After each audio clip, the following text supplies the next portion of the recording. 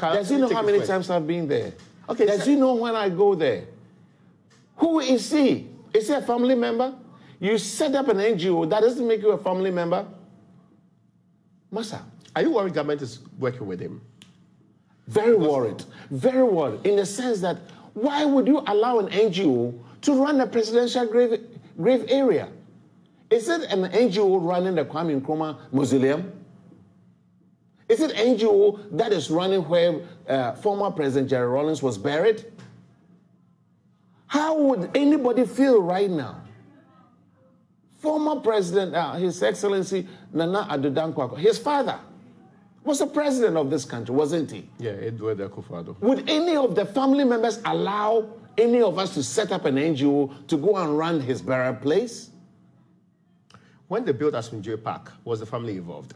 Yes, the family was involved because they set up a funeral committee. Oh, I see. And the architect of that place was Dr.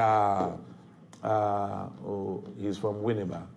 Um, he would he would not be happy if Now you're mentioning this, Yeah. but that's not a problem. Yes. I mean, let me get this point straight. Since it was built, Yes. whose responsibility has it been to maintain the place? national security. Oh, I see. That place is for national security. They are in charge of it. They are supposed to maintain. Were they doing that? They were doing that to some extent. And in fact, every time that we went there on an anniversary, there were so many things that we had to do for the place to be up to standard. Okay. One thing I want you to understand Yeah. Is that you're not po- we opposed to that? We do not have any issue with renovating the place, sir.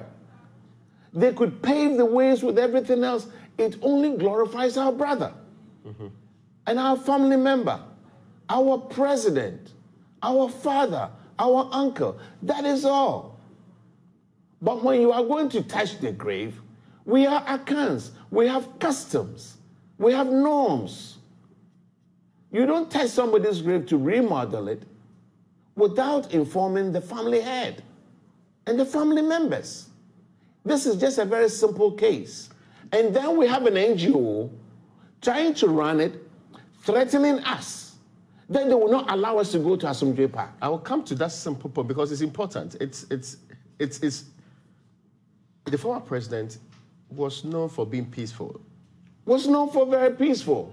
So why do we have an NGO, somebody heading an NGO, who's acting in a way that is so contrary to the life and the and the norms of, of, of President Mills?